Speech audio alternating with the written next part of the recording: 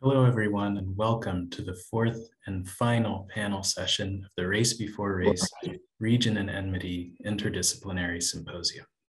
My name is Sylvester Cruz, and I am a PhD candidate in the English department at Rutgers, New Brunswick, as well as the graduate representative to the Race Before Race Region and Enmity Symposium Organizing Committee. It is my pleasure and my privilege to serve as the moderator of today's panel session. A few notes before we begin. Uh, we do offer live closed captioning transcriptions of all of our panelists' presentations, and this option is available at the bottom of your Zoom window. For those of you who are active on social media, we invite you to connect with us and join the conversation on Twitter via the hashtag RaceBeforeRace. We also invite all of our participants in the audience to contribute questions for discussion via the Q&A function at the bottom of your Zoom window at any time over the course of today's panel presentations. This panel is entitled Contextual Migration. I'm excited to introduce our three speakers, Kristina Richardson, Ruen-chuan Ma, and Kelly Nguyen. For the sake of time, we must gracefully pass over formal introductions, but I do want to let our audience know that the bios of our wonderful speakers are available for your perusal in the conference program.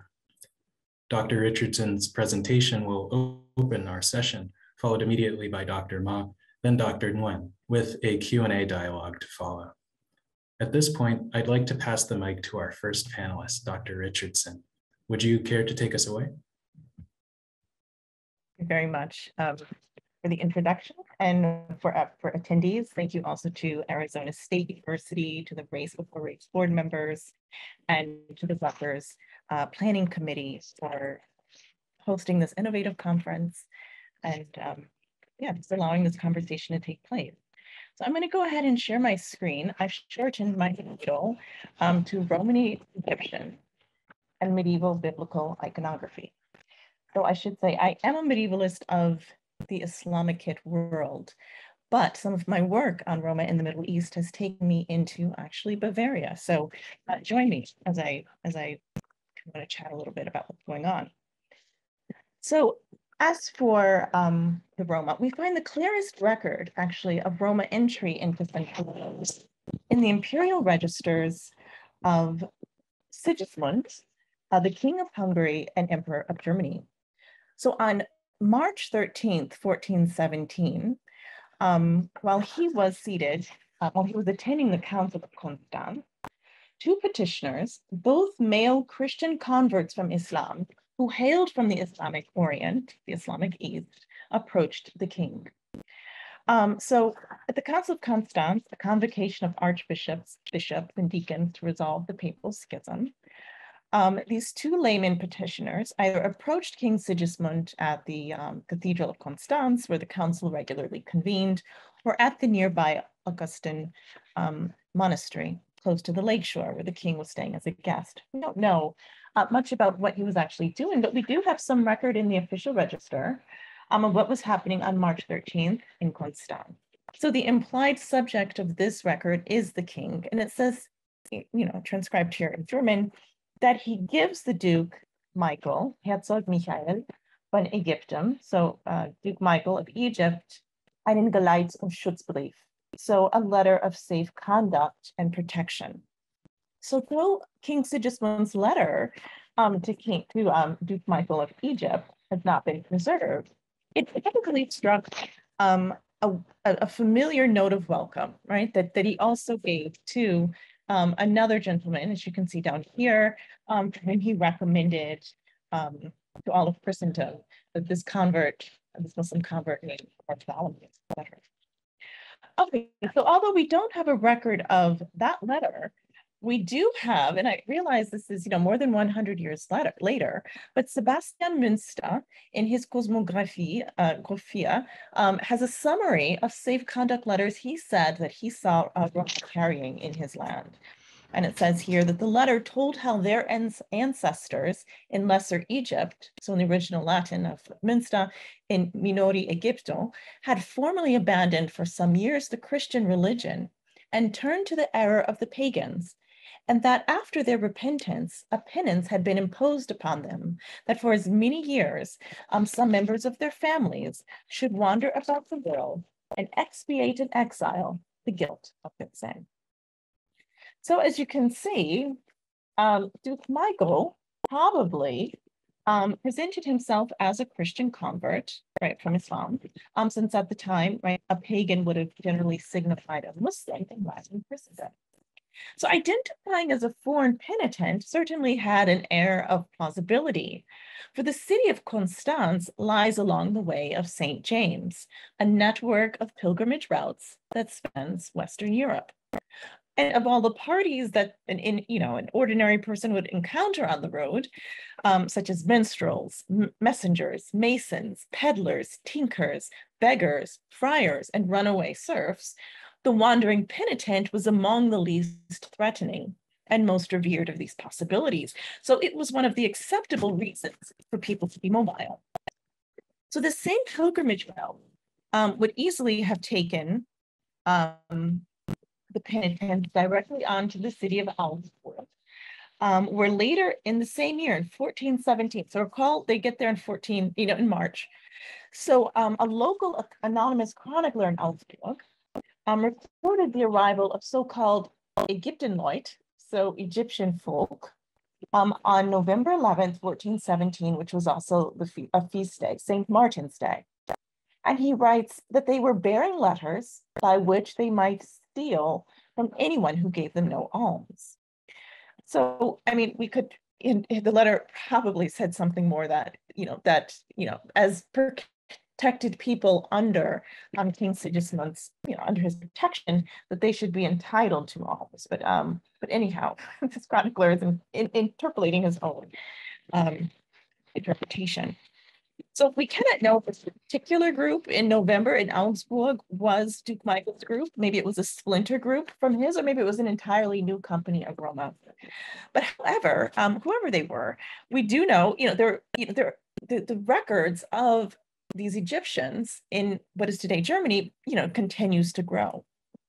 So sometime between September and December of the same year, 1417, 1470 is really a watershed year in uh, Romani history. Um, a similar group led by a duke and a count had reached the Baltic Sea coast. So Hermann Cornerus of Lübeck, in his Chronica Novella of 1435, published later, but in which he states that in sometime in this this period, um, he, he notes that people, you know, a mass of people numbering about 300 men and women, not including um, the miners, right, had actually, you know, come to his Baltic Sea coast town. And he writes that they were ugly in appearance, black like Tartars. They called themselves Peganos. They also had chieftains among them, that is the duke and a count. And this, I mean, and so that must read a bit familiarly to you, I hope, heard about Duke Michael. But as you can see here, in this, in this, um, you know, there's a lot he writes in the middle. He writes about, they have a letter from King Sigismund and other princes, he says. But he also very interestingly writes that the reason for their wandering and traveling in foreign lands is said to have been their abandoning of the faith, Christianity, and their apostasy after conversion to paganism, Islam. They were committed to continue these pilgrimages to, in foreign lands for seven years as a penance laid upon them by their bishops. So the search for Black-like uh, Tartars, as you see here, that's a racializing, a racialization presented in terms of resemblances and affinities. The Tatars, T-A-T-A-R-S, were a Muslim people, formerly of the Mongol horde, but at this time living in Crimea. And as you probably know, as I'm speaking to a crowd of uh, medievalists, in the 13th century, Domingo, the eponymous founder of the Dominican monastic order, planned to travel to the steppe to convert, um, you know, the Tatars and the Cumans to Roman Catholicism, but the trip never came to pass. But I say this just to state that there was an awareness of this, you know, Muslim, perhaps darker skinned community um, in, you know, what is today Eastern Europe. So comparing these Black Egyptians to Black Tatars positioned these new arrivals as an outsider race and an outsider faith, even though they claim to be Christian. But it is striking that racialization actually happens in writing, and less obviously, as I'm going to show you, in visual representations of the Roma. Um, I should also add, um, I underlined seven years here. It's not highlighted in the original manuscript or the print, uh, the original printing, but it's it's interesting because it mirrors the seven years out of Egypt that, that they say they have to spend is the reverse, as you may already be thinking, of the Holy Family's seven year sojourn in Egypt, right? Mary, Joseph, and Jesus, according to stories in the medieval Meditationes Vitae Christi. Um, so and also, just to keep in mind, um, before setting out on pilgrimage, right, medieval Christians typically received blessings from their local bishops, and their pilgrimage could serve as a form of penitence. So as you can see, um, whether or not these little Egyptians and these Sekanos understood this idea of pilgrimage and consciously adopted this stance as penitent pilgrims, making their cultural estrangement legible to local indigenous European Christians is, as Geraldine Heng says in her work, um, an it is an extraordinary process of successful cultural translation by the Roman. I think you know, this is actually a really insightful point, um, how we can actually, they seem to have been quite aware, you know, of the statuses that exist in society, ideas about penitence, pilgrimage, um, and also resonances with the Christian stories. So circulating as penitent pilgrims us a cover as they made their way north. Duke Michael of Egypt's group would have reached the Baltic Sea coast by September, as we've seen. Um, you know, in a trail that moves again from the far south, from Constance up to the far north of the Central European plan. So that they present themselves as well Sekanos ties their background to the Ottoman Empire, um, where two words were common Ottoman Turkish terms for Roma and Roma-like traveling peoples. One is Kipti, which you hear in the word Egypt, Kipt or Copt or Egyptian, right? So that's the Ottoman term for Egyptian. And Chingani, which you might hear, I mean, you know, it's the sort of um, molding of it to Sekanos, Chingane, Sekanos. Okay. Um, so whereas I think in a lot of historiography, it's been assumed that these Romani groups coming into Central Europe presented false identities as Egyptians, I feel it is more likely that they were translating Ottoman terms into German and into Latin, and so from 1417 onward, right, mentions of these Egyptians and these Sekanos proliferated in Egyptian town archives, in diaries, in chronicles, notarial registers, you know, parish registers. And in 1417 and 18 alone, our Egyptians, as I'll call them, appear in Hungary, in Bohemia, uh, Mecklenburg, uh, I think it's kind of covered up with this thing. Uh, Hanover, uh, Holstein, Switzerland, Provence, uh, Colmar, Strasbourg, and, and Saxony, as we see here. So, um, you know, it's, it's, they, they move pretty quickly. And again, this is just in 1417 and 18.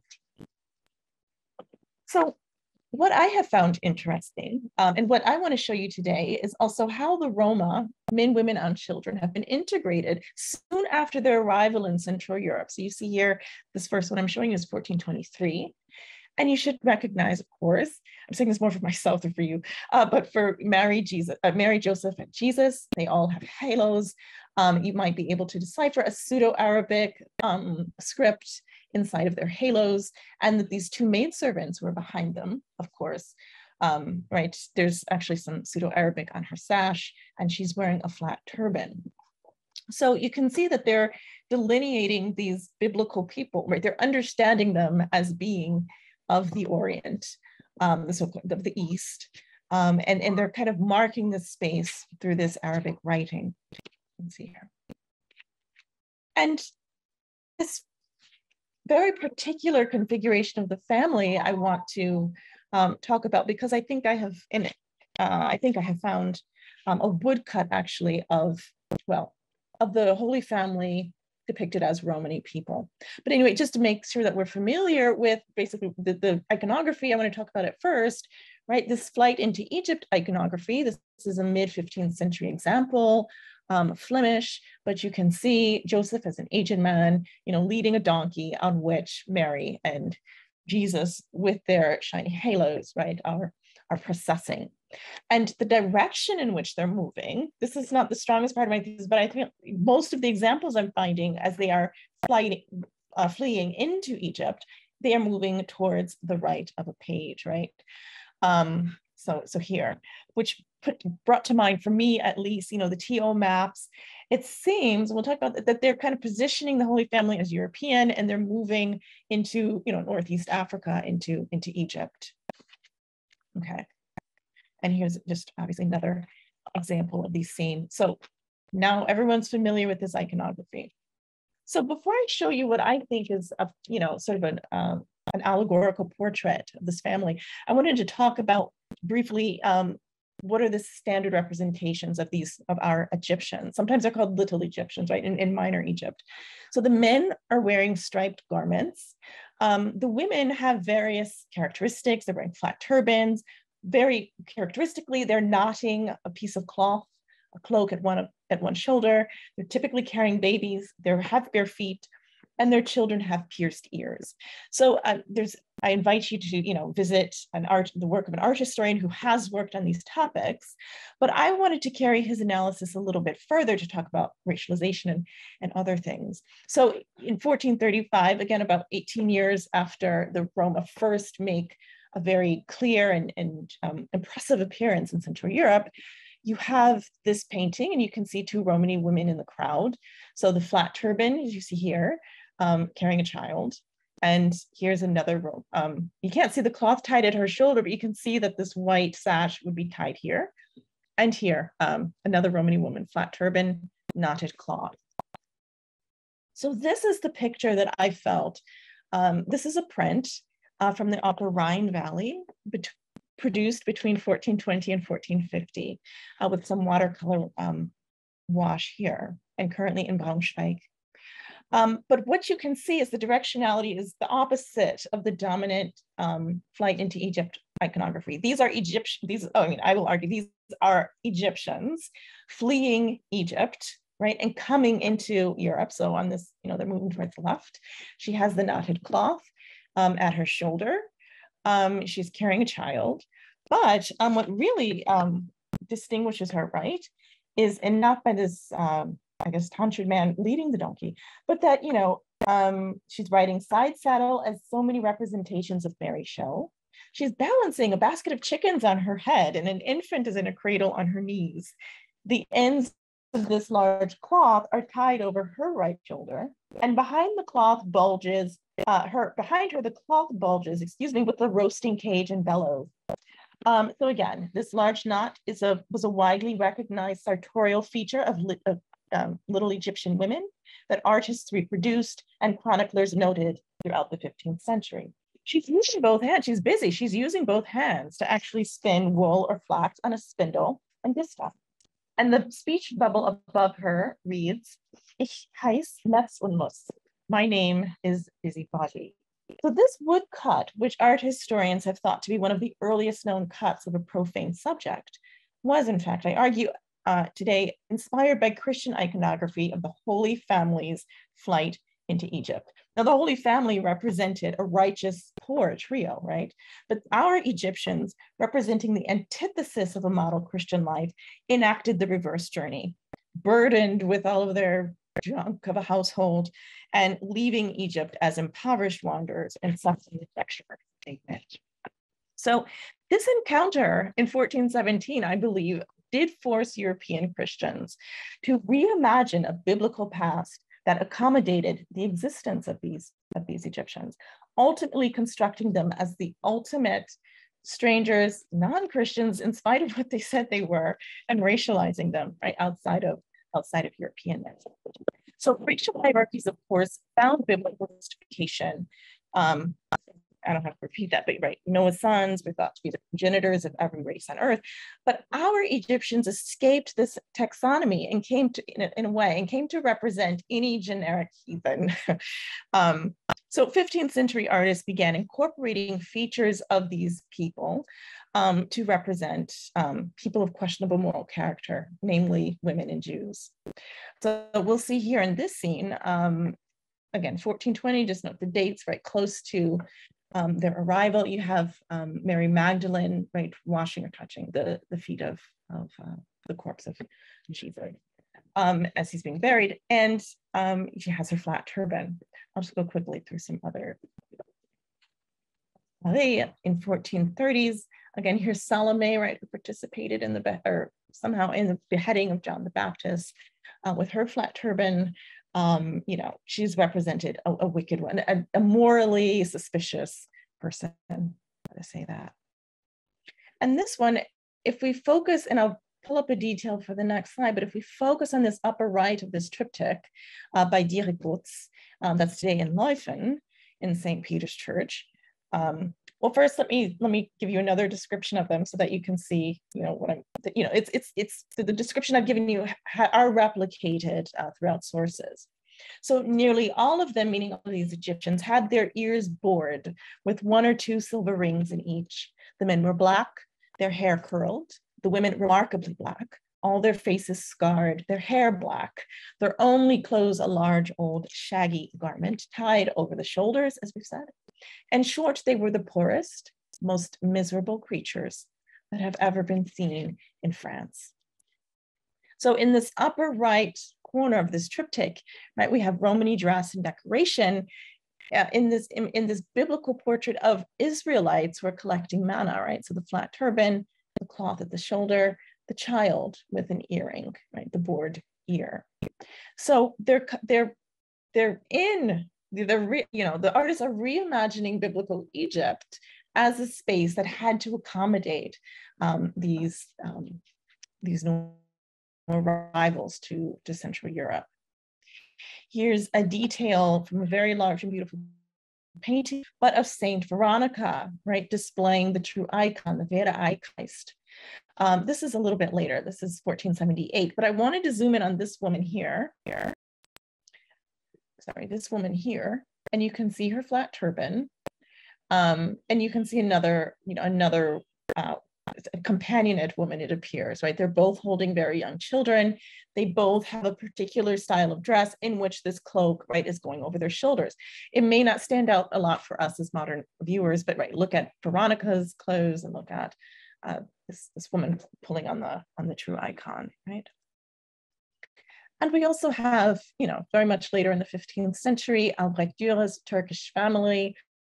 Um, so, you know, there's sort of an overlap with Roma and Turks and, and Muslims, essentially, um, the knotted, the turban, the child, the bare feet, right? All of it comes together, again, with uh, Martin Schongauer. Um, a tapestry, um, you know, from Flemish areas, right? You have you can see another Roma woman. Um, you can see her bare feet, the child, the knotted cloth, the turban. So in this, she has all of the characteristics, right, that um, Pokorny, the, the art historian, has identified. And again, a companion um, who's apparently here pulling something out of this nobleman's pocket. That's also another motif. Um, so these are not, these particular images are not themselves of biblical Egypt. This is another, this is again, much later, this is 1510. Um, and if, you know, it's um, a tapestry hanging today in, in uh, New Hampshire. But if you look at the top right, it's a, it's a hunting scene. I won't go into describing it too much, but you see this man is blowing the horn to start the hunt. But what's happening at left is that this Egyptian family is coming into, you know, this um, this lordly into the space of the lordly manor. And I'll zoom in on um, a couple of people. Well, actually, maybe I should zoom out. So you can see actually on this horse, right? There's a woman not at her shoulder carrying children led by a man. It's kind of like the Holy Family imagery. But I wanted to focus on this woman and then this older woman. So here she has a flat turban, the, the knot, the baby, the bare feet, and her child down here seems to be pulling, you know, the purse of this more nobly dressed woman. And behind this woman is another uh, Egyptian woman, right? again, with a knot, and she's older, you know, an, an elderly woman, and and with a kind of differently shaped turban, and she's holding her hand, presumably to tell her fortune. Um, a lot of sources tell us. This is just the last one I wanted to show you because this is again getting back to biblical imagery, and then I'm going to um, wrap it up with just some commentary. Um, but you can this the title right is the sermon of saint john the baptist. Of course here he is sermonizing. And and it's you know it's a flemish painting obviously. So you see they're they're you know who's in this? Nobles priests soldiers peasants burghers you know it's it's supposed to be kind of european. But you have a turk uh, they're jews in the audience. And if you look here at this span the only person actually turned well aside from the, the actually the, the egyptian child but the people turned to face the viewer right with this audacious gaze is um is this man and he's marked by his striped garments. Um his part you know his companion here um you know, the, the, the, headgear is a bit different, but of course we're looking at 1566. This is no longer 1417. But I just want to say that over time, right, you, you keep um, artists maintain uh, the presence of Roma in these paintings. But as you can see, he's also the one not paying attention to John the Baptist. So, so he's, he's someone who's epitomizing, um, epitomizing anti-Christian behavior. All right. Um, so medieval Christian observers made sense of these newly arrived uh, foreign Egyptian Christians by mapping them onto familiar um, biblical stories about, again, Jews as religious outsiders, women as sinners, and the Roma kind of fully encapsulating that. Um, so to conclude, I suppose just to analyze this a little bit, um, and I, I want to hear your comments, of course, in the chat. I, no, I'm sorry. After after we after the panel, um, so the Roma figure clearly, as as I've mentioned, in town archival records, in chronicles, registers, and other sources where their racial presentation is fairly standardized. The men are black, the women are black. Um, they say they're Christian, but you know, but something, but they're compared constantly to the Tatars, right, who are living um, in Eastern Europe from the formerly, you know, uh, the Golden Horde, right? This former Golden Horde, they've settled there even after the Mongols had retreated. So, so they're comparing them to these so-called, well, to, to the to the Black peoples, as they're calling them, who live on the steppe side of the region. Looking at a print from 1903, um, you can see that the Roma are differentiated from indigenous Europeans through dress, body modification, in placing Roma back in Egypt, both in biblical antiquity, right? Antique Egypt and all century Egypt, um, the unite the Egyptians their claims to piety, to Christian affiliation, and especially to Christian so, in this sense, the racialization of peoples from the Orient and Muslims in particular, right, but they're also including Jews um, and everyone else, that the Roma are unfit to be Christian. They are unfit to, to, to claim this, of course, to receive these letters and, and to be in their land. And the project of converting Muslims, right, um, to Christianity is doomed. So not that crusades should not be actually enacted, but that, you know, that maybe some sort of compassion and mercy as part of the Christian project of conquest, domination, you know, taking back Jerusalem, et cetera, the holy city. That this is income, you know, conquest is the only way to actually deal with this. These are peoples incapable of actually entering into the Christian fold. All right. So it's a racialization that, that has implications for morals, and also um, for belonging um, in 15th century Europe. Okay, I'll stop there, but thank you so much for your attention.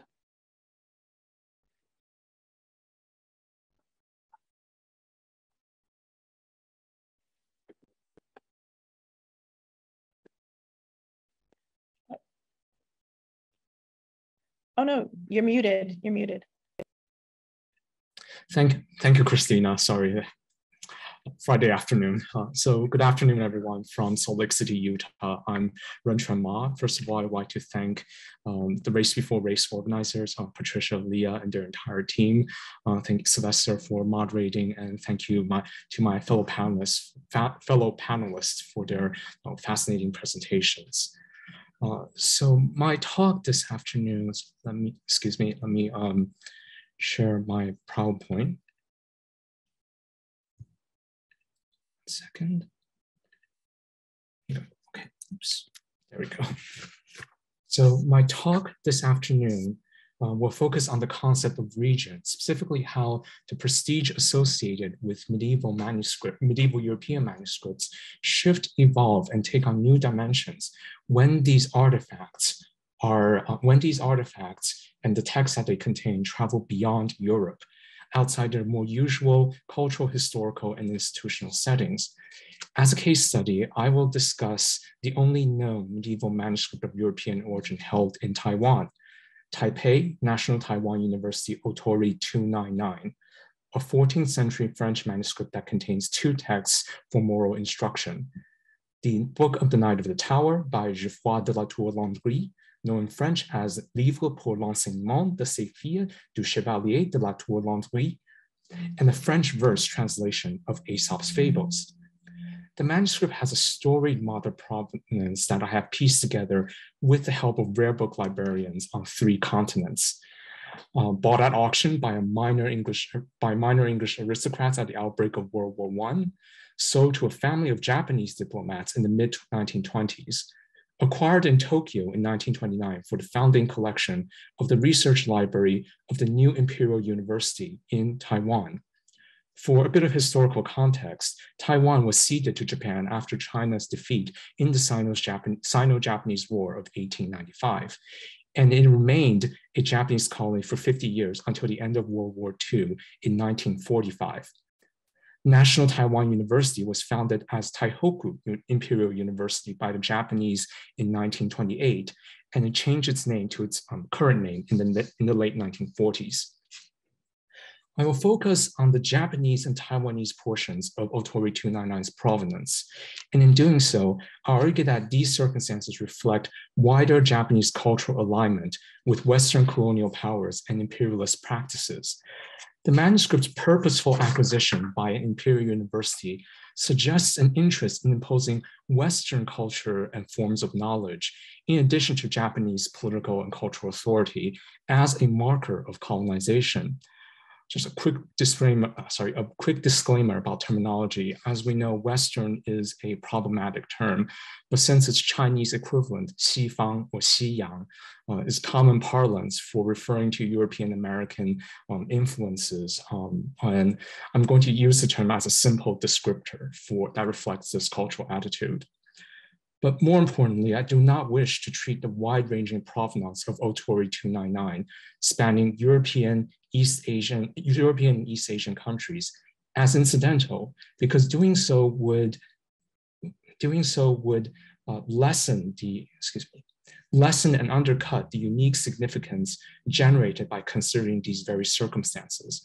I've put up on the screen a definition of provenance from um, uh, Clemens and Graham's introduction to manuscript studies as a counterpoint uh, to the idea of, to the idea and the implication of provenance that I wish to uh, present today. Instead, I invite us to actively interrogate and uncover the afterlives of this manuscript and the texts contained within it, and allow this information to broaden our understanding of the cultural interest in and the impacts of medieval manuscript culture. In what way does Otori 299's provenance and perhaps other medieval manuscripts with similar um, cross-cultural, cross-national histories reshape, even expand our understanding of medieval manuscripts and the multivalent interpretive vectors that they can encompass?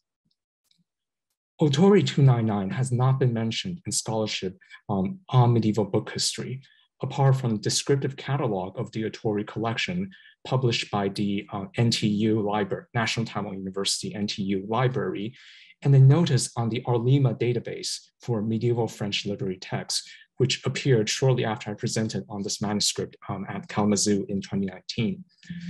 Nor has the manuscript been included as part of existing critical editions of either of its constituent texts. In other words, the very existence of Otori 299 and its potential scholarly contributions have not yet been fully explored or acknowledged. Its context, colonial institutions of higher education in Taiwan, Japanese modernization, perception of Western structures of knowledge, provide intriguing, unconventional circumstances for manuscript studies and book historical lines of inquiry. What happens to our understanding of medieval texts and their manuscript settings, as well as our approaches for critically interpreting medieval material culture and its afterlives. While these are perhaps unexpected circumstances in which to consider a medieval manuscript, they reveal readerships and interests that are wider than those typically, typically expected of medieval French institutional instructional texts, excuse me, a glimpse at how these medieval texts become sites for intriguing cross-cultural encounters. To situate ourselves in the manuscript setting, I'll begin with a brief paleographical and codicological overview of Otori 299, and then, and then looking at bibliographic and historical information, examine its position in the context of the Otori collection and the rare book acquisitions of Taihoku Imperial University, or now uh, NTU. Oops. Otori 299 is a 14th century manuscript containing in order uh, the Book of the Knight of Tower and Aesop's Fables, with a blank leaf of parchment separating the two works, indicating that the two parts of the manuscript were produced separately, apparently with different teams of scribes, uh, and at some point, at some later point, post-medieval era, bound together. In general, the contents of both parts are written in a neat secretary hand with some cursive features, with the scribes for the Book of the Knight of the Tower uh, having a somewhat more even and regular aspect compared to the scribes for uh, the fables. Uh, the script is not of the highest grade and lacks the more, the more kind of elaborate flourishes and more disciplined and upright aspect of bookhands from this period, but the evenness of, the evenness of appearance and spacing suggests a good degree of care in the scribe's uh, execution and presentation. The degree of care is further indicated by the presence of a now defaced um, illust opening illustration and consistent use of decoration on decorated initials, excuse me, to indicate internal textual divisions. So you see the, um, I have a uh, enlarged version of the um, opening illustration here. And you can see an example of the alternating colored initials here. Notably, Otori 299's fly leaves uh, reflect a multitude of bibliographic interests and receptions spanning several centuries and at least two continents. Provenance information appears in four languages, French, Italian, Japanese, and Chinese, and it provides us with a sense of multi-layered readership and cultural exchange. The information in Ch Chinese and Japanese, which you see on the screen here, represent the manuscript's most recent provenance and appears in the form of accession stamps for the Library of Taihoku Imperial University. There is an oval stamp bearing the regnal date Showa 4331 or March 31st, 1929. Um, Showa 4 meaning the fourth year of the Emperor Showa or also known as Hirohito. And the formal seal, uh, square shaped and stylized with traditional Chinese characters that represents officials uh, library, uh, sorry, the library's official seal. And so in terms of the uh, colonial encounter and the geopolitical intersections of the, that we can kind of get at through this manuscript, um, it's this manuscript, Otori 299, stands at the nexus uh, of its contemporary colonial and geopolitical power relationships. And that's, I think, rare or unusual for medieval art, uh, medieval manuscript. In the context of the Otori collection, it is the only manuscript that was written on parchment and the oldest item in the, in the collection of over 800 volumes of pre-modern and early modern rare books accumulated by two generations of the Otori family. Father and son Keisuke and Fujitaro Otori were members of the early 20th century Japanese political elite, each with notable diplomatic careers that brought them to Europe and the Americas. Taihoku Imperial University purchased the Otori collection in Japan and brought it to Taiwan around 1929, shortly after it was founded by the Japanese government. The title of Imperial University gave the institution high-ranking status, equivalent to that of the most prestigious universities in Japan at the time, meaning that it received ample financial resources with which to build its newly established research library.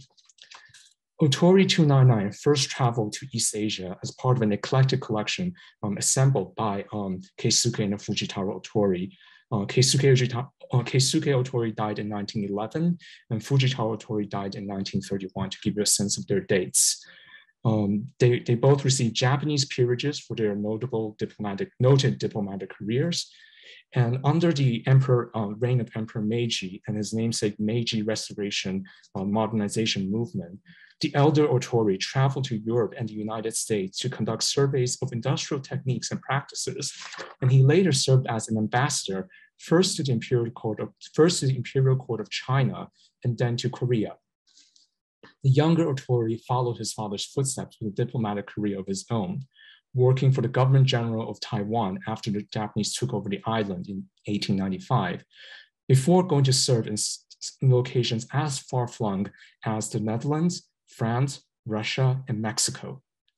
In broad terms, the career of both father and son reflect participation in reform efforts of the Japanese government during the late 19th century and Japan's subsequent rise as a colonial power.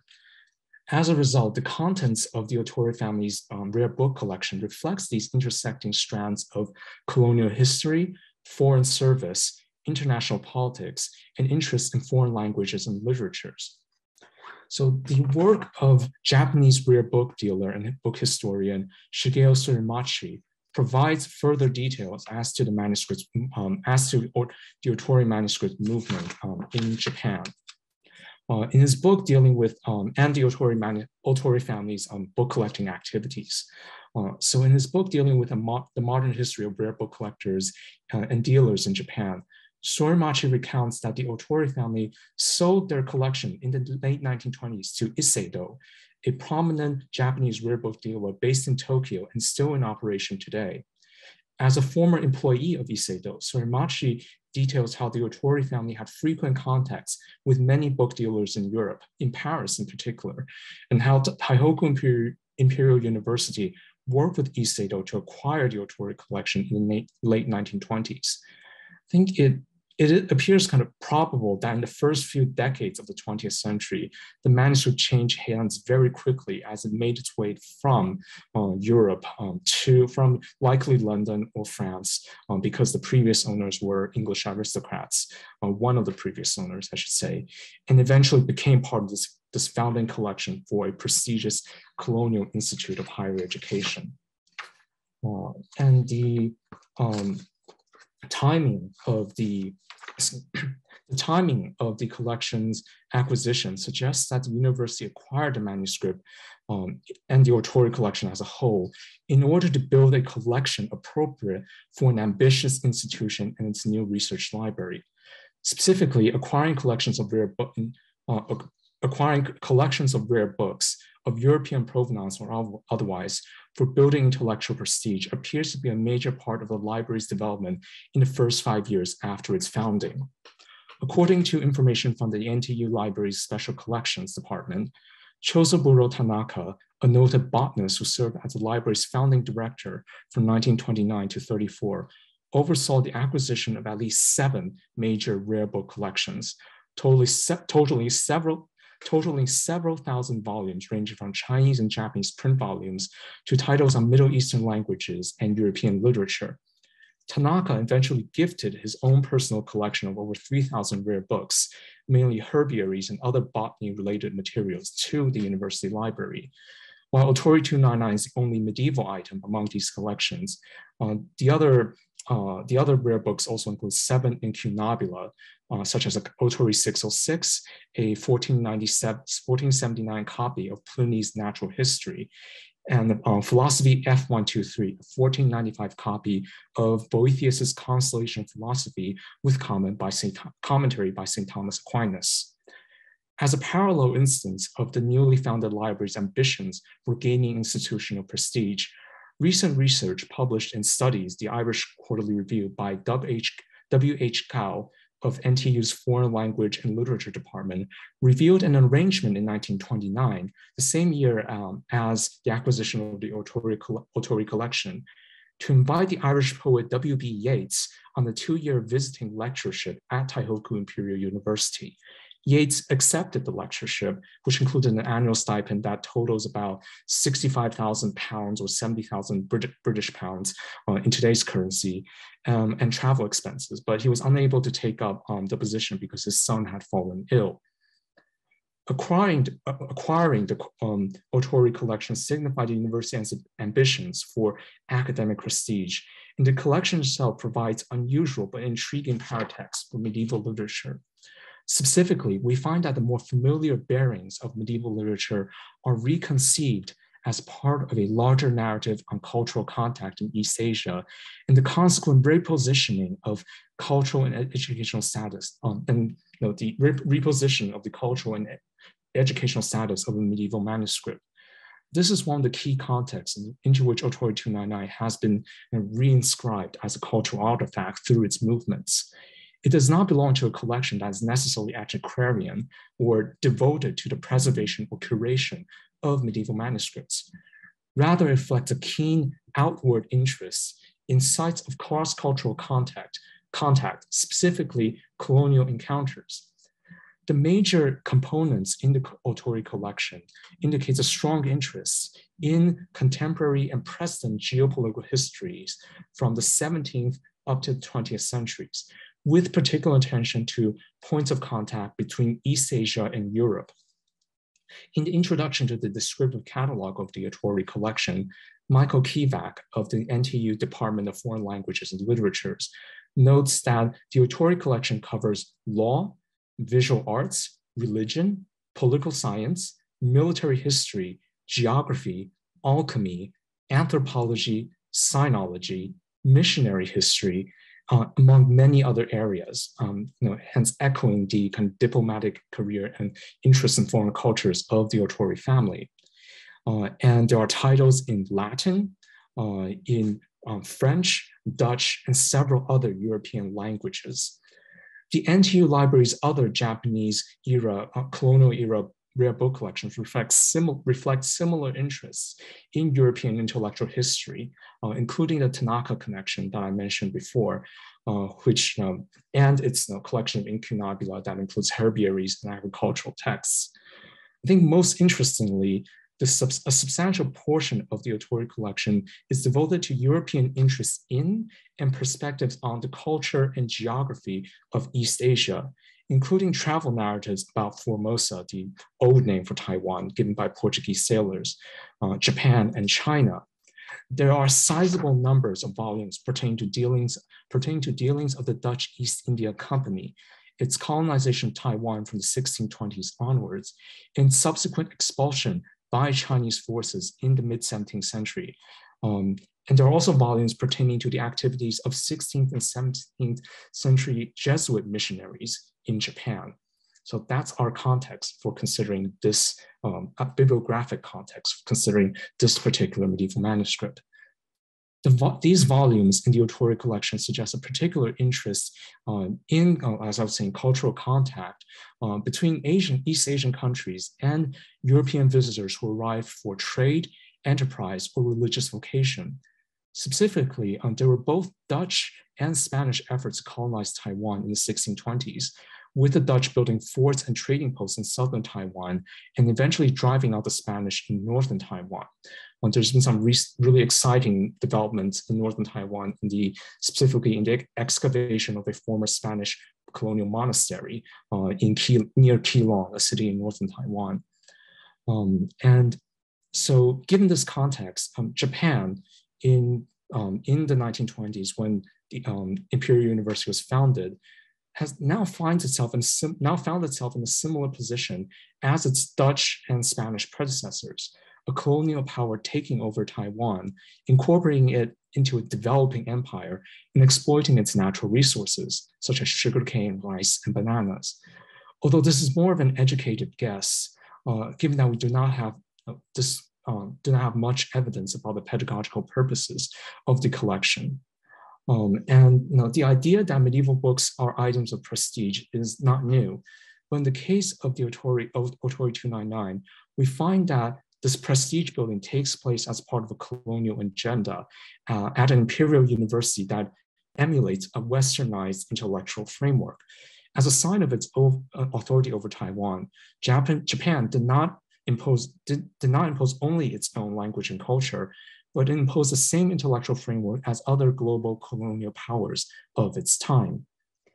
There's this, um, excuse me, uh, and among other volumes in the Otori um, collection, these kind of travel narratives, missionary accounts, and geographical descriptions, um, it, I think it places um, Otori 299 and its, and its the text that it contains in a position of representing Christian Western backgrounds of customs, morals, and social attitudes, especially because we have, we're dealing with instructional texts. texts.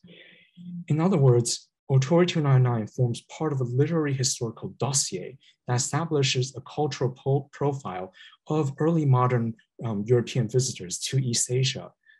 Keevak also notes that many of the volumes um, contain marginal annotation in Japanese and suggests that these books were acquired primarily for the purpose of study than for monetary or aesthetic value.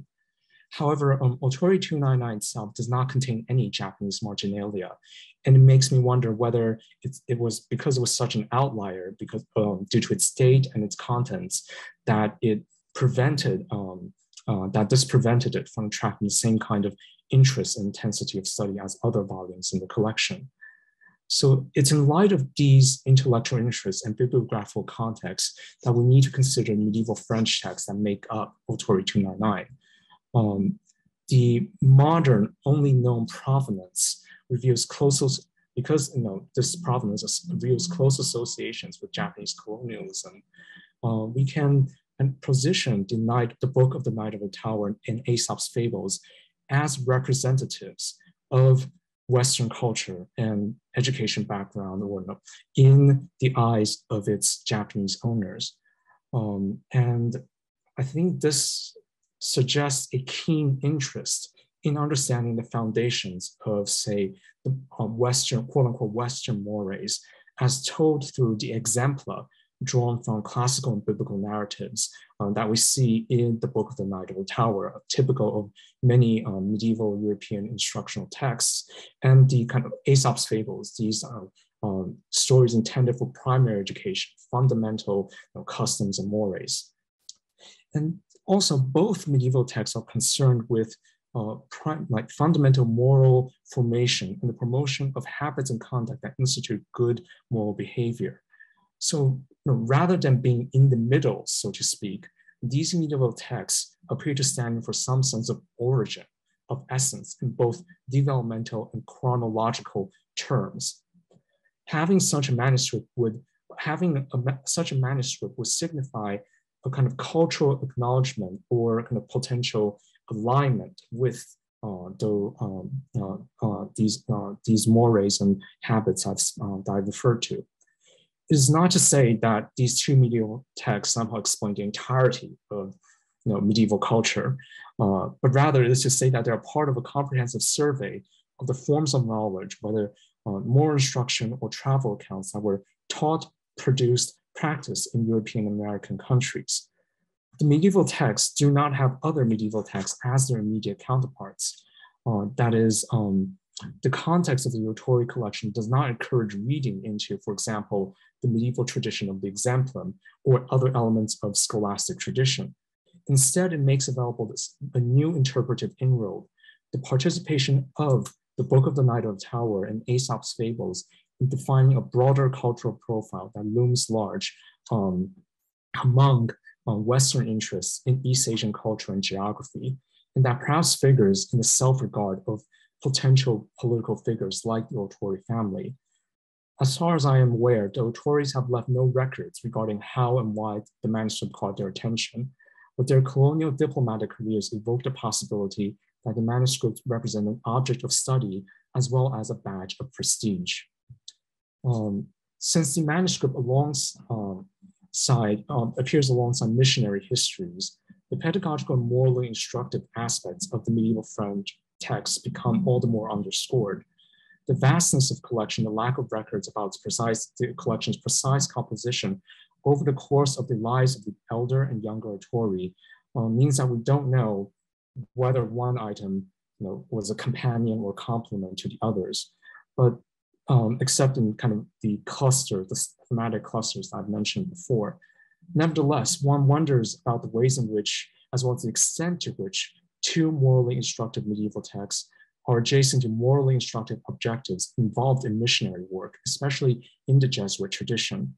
What impression does Western religious culture need to impart on East Asian audiences in order to bring about conversion, to persuade people to either to adopt either Catholicism or other Christian denominations as their faith? In other words, the two medieval French texts together perform a dynamic intersection between moral pedagogy and cultural contact, to the extent of combining religious doctrine with form of social, forms of social custom in elementary education. In this way, we can read the manuscript as a kind of proto-colonial entity.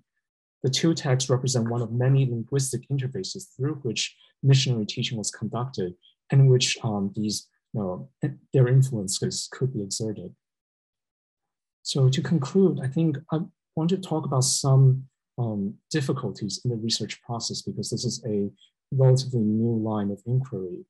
Uh, the two medieval French texts take part through their presence in Tory 299 in reshaping um, political and cultural identities. There's a great deal there's a great deal of reshaping in the Middle Ages, the Middle Ages themselves, um, but the Japanese colonial history surrounding the manuscript's provenance and ownership throws such process into sharp relief and expands the notion of the kinds of uses and connections that these medieval manuscripts have. And it's because of this, this set of expanded connections that um, it comes with new research obstacles. Much of the bibliographic information that I presented uh, and consulted um, and cited are currently only available in Chinese or Japanese. In some instances, I've had to, uh, I've only had access to machine translations or to paraphrases provided by rare book librarians. Uh, tracing the provenance and history of the manuscript required a disparate array of research materials and would not have been possible without the help of rare book librarians spanning 13 time zones on three continents. And I'm particularly grateful uh, for the help of Hong Wanjun, uh, Hong Wanjun at uh, National Taiwan University, Consuelo Dutschke, who is retired on, um, of Columbia University, and Lynn Ransom at the University of Pennsylvania. And I conclude on this note, not to sound discouraging, but to point the way forward to what I hope will be an exciting new lines of inquiry, uh, new lines of thought for medieval manuscript studies. Thank you very much.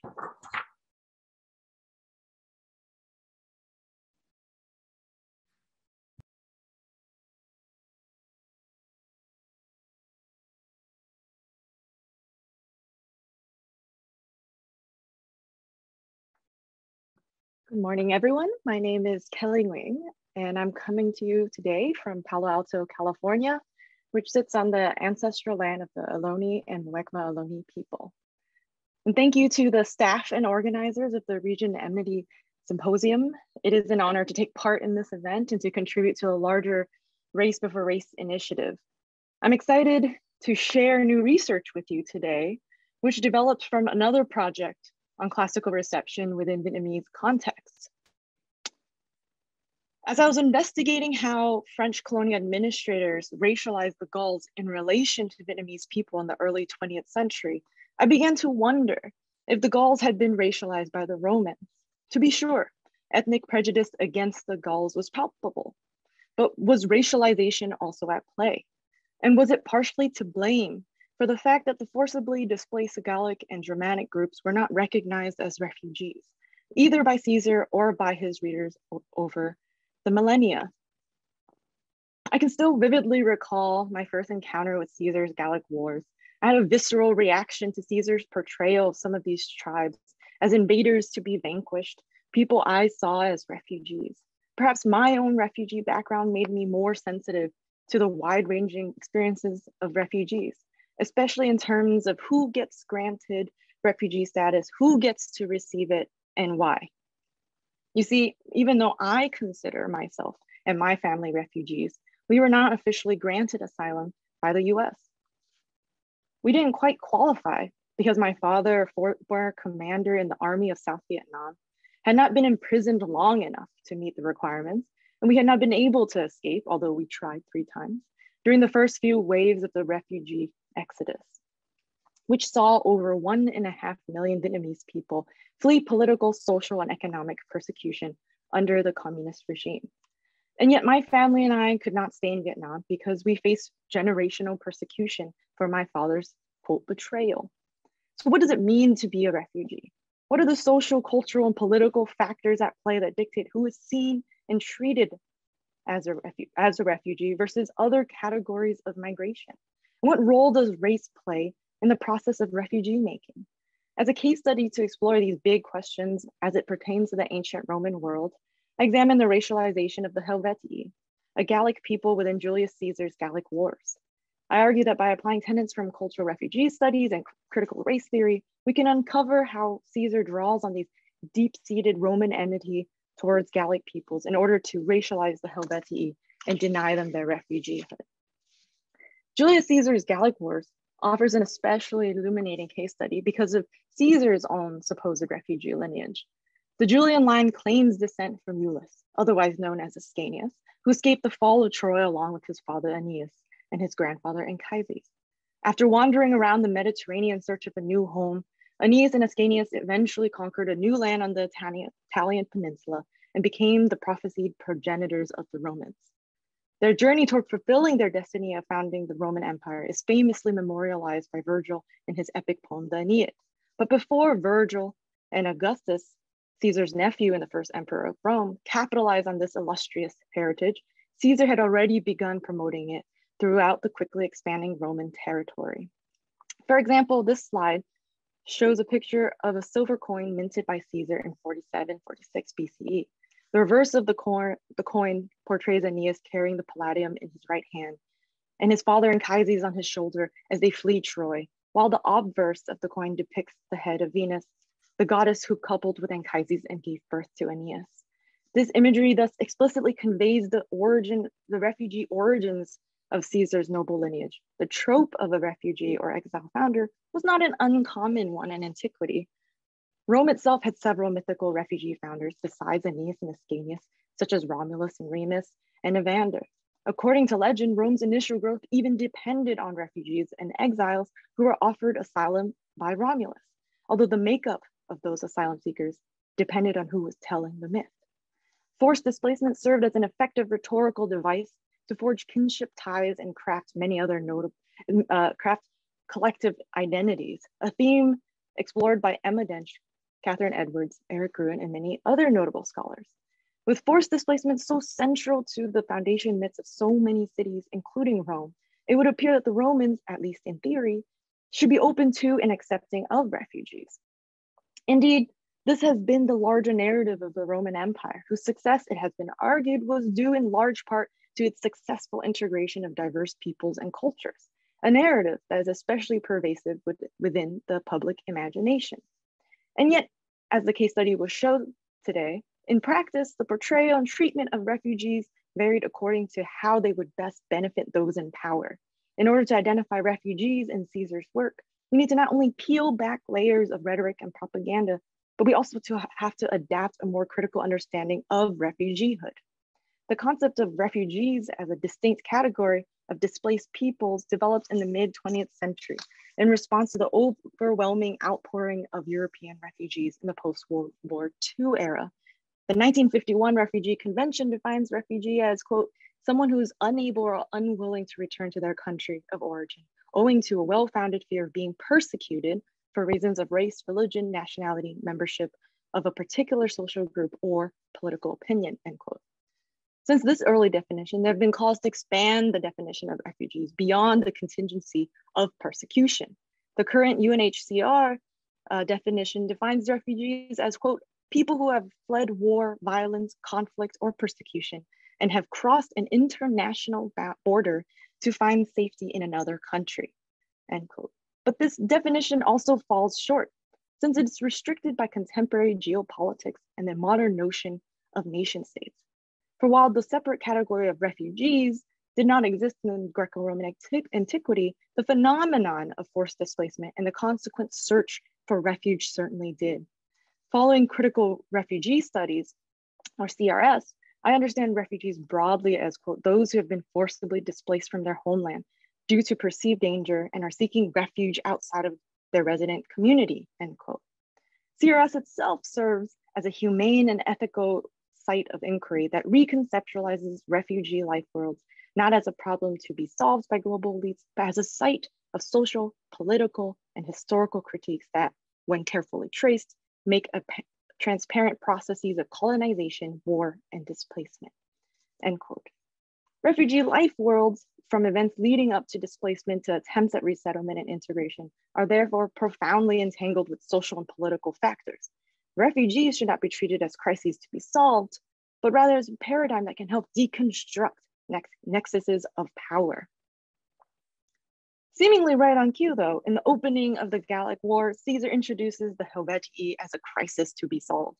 He famously opens his account with Gallias omnis divisa in partes tres. All of Gaul is divided into three parts, inhabited by the Belgae, the Aquitani, and the Celts, or better known to the Romans as the Gauls. According to Caesar, quote, of all these, the Belgae are the strongest because they are furthest from the civilization and humanity of the Roman province. And traders least frequently go to them and import those things which tend to weaken minds. And they are closest to the Germans who live across the Rhine, with whom they are continuously at war. On account of this, the Helvetii also surpass the rest of the Gauls in strength because they contend with the Romans in nearly daily battles, where they either repel them from their own borders or they themselves wage war on their own frontiers, end quote having established the basic character of each people in accordance with how far from Rome they are. Caesar goes on to emphasize their barbaric nature and drive home how far from being Roman they are. He immediately focuses on the Helvetii, who are the first Gallic people Caesar and his army battle in his commentary.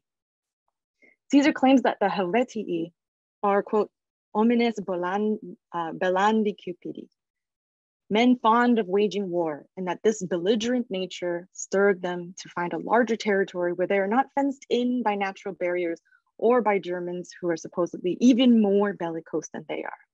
Downplaying the threat of the Germans to the Helvetii, Caesar instead asserts that the Helvetii are migrating because of their war-loving ways and their desire to conquer the whole of Gaul.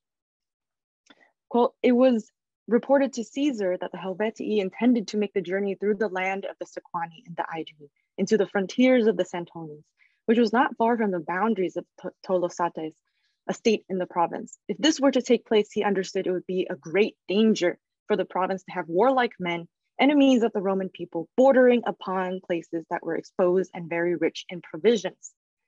Portraying the Helvetii as a militant people who need to be contained for the safety of Rome and its allies Caesar quickly establishes them as homines bellicosos populi Romani inimicos, not just warlike men, but also specifically enemies of the Roman people. And yet, if they were indeed headed for the land of the Santoni, there was no real immediate threat since the Santoni were about 130 miles from the Roman province. This careful construction of the Helvetii as a people removed from the Romans in terms of place, culture, and nature in order to justify Roman aggression towards them is a form of racialization. For to racialize a group of people is to imbue innate traits that render them inferior in relation to a superior group with the intended purpose of oppressing them on a systemic level. Moreover, as Michael Omi and Howard Winant have argued, racial formation is, quote, always and necessarily a social and historical process, end quote. Since the sack of Rome in 390 BCE by the Senones, the Gauls have served as a sort of boogeyman, as people so different from the Romans and so unstable that by Caesar's time, they still posed a threat.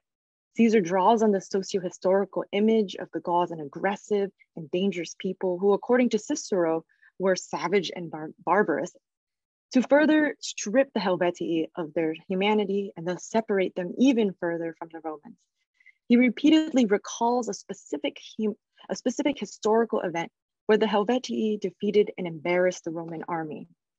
In fact, when the Helvetii sent an embassy to Caesar to ask for his consent to cross the Roman province without any causing without causing any harm, he replied, quote, Caesar, because he held onto the memory that Lucius Cassius, the consul, had been killed, and his and his army routed and sent under the yoke by the Helvetii, did not think that it, their request should be granted nor did he reckon that men with hostile disposition, should an opportunity of marching through the province be given, would abstain from insult and injury. The fact that Caesar reports the Helvetii's request to cross through the Roman province is interesting because on the one hand, it showcases his authority, which is apparently so powerful that it also extended to these warlike people who clearly were deferring to him. And yet on the other hand, it undermines his claim that these dangerous people were planning a devastating invasion. Regardless of this contradiction, though, the story and its link to a past injury builds on Caesar's rhetoric of defending the province to include defending Roman honor. Caesar calls on this historical enmity between the Helvetii and the Romans many more times throughout his account. For example, when the Helvetii tried to cross the Saône River, Caesar furtively attacked them in the night and celebrated the fact that he decimated a quarter of their number. According to Caesar, this quarter happened to be comprised of people from the Tigurini, a clan of the Helvetii that defeated Cassius and sent his army under the yoke. Thus, whether by chance or by the design of their immortal gods, that part of the Helvetian state, which had brought a notorious calamity upon the Roman people, was the first to pay the penalty. On account of this, Caesar avenged not only public injuries, but also personal ones, because the Tigurini had killed his father-in-law, the legate Lucius Piso, the grandfather of Lucius Piso, in the same battle as Cassius. So once again, Caesar turns to past injuries to build his narrative of defense, this time extending it to the defense of familial honor. To battle the Helvetii then was to fight against invaders who not only posed a threat to Rome's allies, but also embodied wo- an old wound to the Romans and to Caesar personally. With these layers of threat of people so removed from Rome and the Romans, the causes of the Helvetii's own displacement quickly fade into the background. This deep-seated enmity is called upon for the final time after Caesar defeated the Helvetii, decimating over two-thirds of their population of which only one fourth were fit for military service, according to his reports. Despite the fact that most of the people immigrating were not fit for war, Caesar continues to paint them as violent invaders bent on dominating all of Gaul. At the end of the Helvetian campaign, Caesar claims that leaders from other Gallic tribes came to him to thank him for repelling the Helvetian threat. Quote, when the war with the Helvetii was concluded, legates from almost all of Gaul, the leading men of the states, gathered to congratulate Caesar.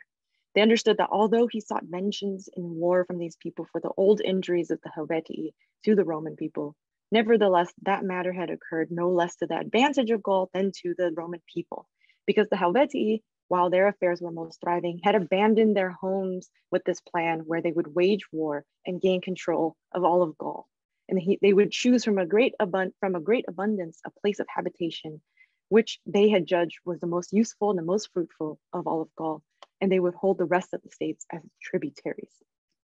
So throughout the scene, Caesar returns full circle in his rhetoric of defense as he emphasizes the threat that the Helvetii pose to Greater Gaul. In addition, he also distinguishes the Helvetii from the Gallic from other Gallic peoples who are painted as more noble and more civilized due to their proximity to Rome and its culture. In their work on relational racial formations, Daniel Martinez HoSang and Natalia Molina argue that, quote, racialized meanings, identities, and characteristics are all, always constituted through relationships and are always dependent on a shared field of social meaning. They are never produced in isolation. Race is not legible or significant outside of a relational context. From that, from this perspective, Race does not define the characteristics of a person, instead is better understood as the space and connections between people that structure and regulate their association. To inhabit, claim, or ascribe, or be ascribed a particular racialized identity or grouping is to be located in an assemblage of historical and contemporary relationships, end quote. As we saw earlier in the opening of the Gallic Wars, Caesar right off the bat situates the Gauls somewhere between the Romans and the Germans, both geographically and culturally. This organization of the Gauls in relation to the Germans serve as a form of relational racial formation as it aims to categorize people for the sake of domination. While Caesar did not invent the separation between Gauls, Germans, and Romans, he did exploit it by repeatedly conjuring socio-historical prejudices. But he goes beyond distinguishing between racialized groups to differentiating within them. To separate the Helvetii, the supposed invaders of Gaul's Gallic allies from those, from those very allies, Caesar compares them not only in relation to the Romans and the Germans, but also in relation to other Gallic peoples. Thus, Caesar opens up his work with highlighting their relatively remote location and their constant battles with the Germans, which caused the Helvetii to, quote, surpass the rest of the Gauls in strength, end quote. While this may seem like a positive trait, it is important to note that this strength is in regards to violence, which is the main imagery Caesar is trying to associate with the Helvetii. Due to this inter and intra relation, relational racialization, what emerges is a stratified social structure in which pe different peoples are judged according to their proximity to Romanness, Romanness, which itself is rather nebulous and elusive. So when the Aedui and the Allobroges, Gallic peoples whose territory border that of the Helvetii, but on the right side, away from the Germans and towards the Romans, sought refuge from the invading Helvetii, is no surprise that their refugeehood is acknowledged and granted. According to Caesar, these two people, quote, retreated to Caesar in refuge and pointed out to him that there was nothing left but the soil of their land. Prompted by these circumstances, Caesar decided that he should not wait until, after all the possessions of his allies had been taken, the Helvetii arrived among the Santones, end quote. Caesar has these people call on their close connection to Rome as a justification of why Rome should repel the Helvetii, and thus why he and his army should cross the boundaries of his dominion. For the Aedui were the brothers and kinsmen of the Roman people, as decreed by the Roman Senate, while the Allobroges were a part of the Roman province. Socio-historical relationships between the Romans and the Aedui and Allobroges thus rendered them as more Roman adjacent and consequently as more deserving of aid. And yet, despite all that effort that Caesar put into painting the Helvetii as an innately warlike people, he ends up resettling some of them in the land of the Aedui, the very allies whom Caesar had just saved from the Helvetii. He resettles the rest of the Helvetii back on their land with the explicit reason that they provide a necessary buffer between the Germans and the Roman province. Moreover, after the Helvetii are defeated and the Germans become the new migratory danger, Caesar finally acknowledges the Helvetii's refugeehood. Quote, unless there was some sort of aid from Caesar and the Roman people, the same thing must be done by all the Gauls that the Helvetii had done, namely that they immigrate from their home and seek other, another dwelling place other settlements remote from the Germans and try their fortune, whatever may come to pass, end quote. We witness a backtracking of Caesar's previous racialization and militarization of the Helvetii, which has recasted them as invaders instead of as refugees in order to authorize his need to cross further into Gaul. And now as he needs to justify his need to cross into Germany, Caesar aligns the Helvetii closer to the more Romanized Gauls and further from the Roman from the Germans who are the new racialized other. As HoSang and Molina have remarked, a relation, quote, a relational treatment of race thus conceptualizes racial formation as a mutually constitutive process. Racial meanings, boundaries, and hierarchies are co-produced through dynamic processes that change across time and place. End quote. All of Gaul does not appear to be simply divided into three static parts, but rather into multiple different ones in relation to their proximity, both geographically and socioculturally, to the Romans as well as to the racialized other, but that other shifted depending on the social and political context. Indeed, by Book 7, which records the events of 52 BCE, the Aedui, Rome's beloved kinsmen, the very people whom Caesar claimed to have defended against the Helvetii, only to then settle them in Aeduan territory, the, the Aedui become the invaders, spurred on by, quote, greed, anger, and rashness, which are the innate, which are innate to that race of men, end quote. As we have seen through Caesar's changing rhetoric on who is and isn't a refugee, Rome's openness to different peoples depended on the plasticity of racialization, of where different peoples fell on the racial spectrum of Roman hegemony. It is this plasticity, the organizing reorganizing of different peoples, and the control of their physical and social movements that was key to the growth and maintenance of the Roman Empire. Thank you.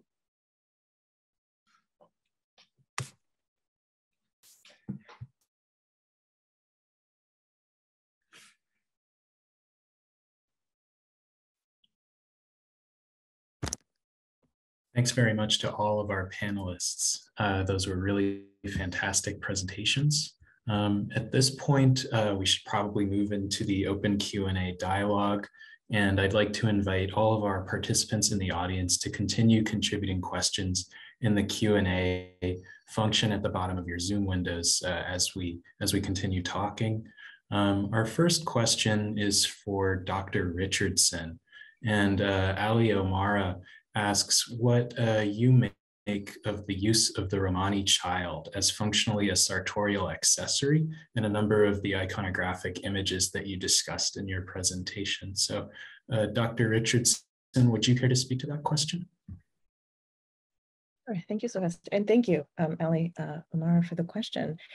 Um, I was actually hoping to hear, you know, what some of you thought.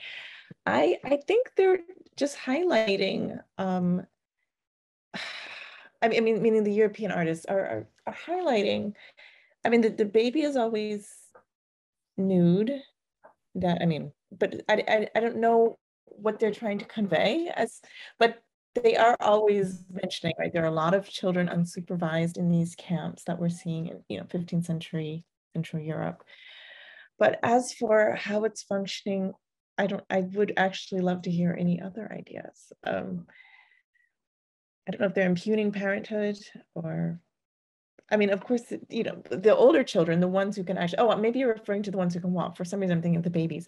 But of course, the older children who are, sorry, stealing um, coins from from people's purses underneath their their their cloaks. Um, yeah, I mean the, the, implication, right, is that they're inheriting these very unchristian habits that uh, what they purport to be, they purport to be Christian, and yet you know we, we don't see this, not in the adults and, and certainly not in the youth, right? So it's not an accident. Um, so certainly, again, with with the with the with the you know older children, yeah, I can see that they're using this to say that this is an these are endemic behaviors, and for these reasons, right, conversion is not possible, right? They are kind of outside of the possibility of Christian salvation. So, so you're right to highlight that, Ellie. Thank you. Uh, letting me think about that. Uh, how, yeah, it, it feeds into the same argument. Thanks. Absolutely, and it, it really raises questions about the extent to which anything in medieval iconography is sartorial or can be considered as, you know, accessory or simply cosmetic in that in that same way. Um, I, uh, I, I, do want to uh, just swerve very briefly uh, to uh, a question of my own that I that was inspired by uh, by Dr. Ma's presentation, uh, which I was, I was I was quite taken by that. I thought that in in a lot of ways, Dr. Ma's presentation kind of models in some ways bibliographic scholarship in in, a, in, an extremely fascinating way there's, uh, you, you, know, Dr. Ma sort of tracks the movements of this medieval manuscript through uh, these different historical contexts, these different times and places. And I guess the thing that I found most surprising is the extent to which the circulation of a, of a manuscript uh, participates in these national and these geopolitical ambitions.